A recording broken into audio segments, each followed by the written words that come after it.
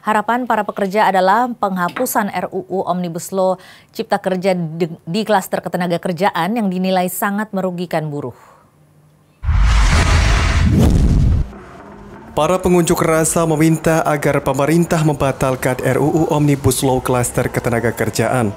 Hal ini karena beberapa pasal dinilai sangat memberatkan buruh, di antaranya tentang penghapusan upah minimum dan tentang karyawan kontrak seumur hidup.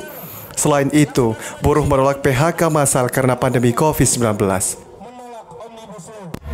Ada dua agenda yang disampaikan dalam tuntutan aksi pada hari ini yang pertama adalah tolak Omnibus Law RUU Cipta Kerja khususnya klaster ketenaga kerjaan draft pemerintah karena sampai hari ini yang ada di DPR hanya draft yang berasal dari pemerintah yang kedua adalah stop PHK massal dampak COVID-19 kami para buruh tidak melihat roadmap dari kementerian terkait, Menaker atau Menko Perekonomian berkenaan dengan dampak COVID-19 yang akan mengakibatkan ke depan di sektor manufaktur.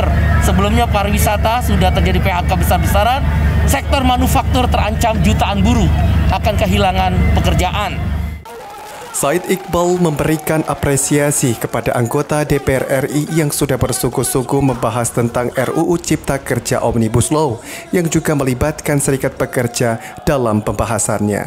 Dari Jakarta, Pradev Kumar Naldi Caniago, Nusantara TV melaporkan.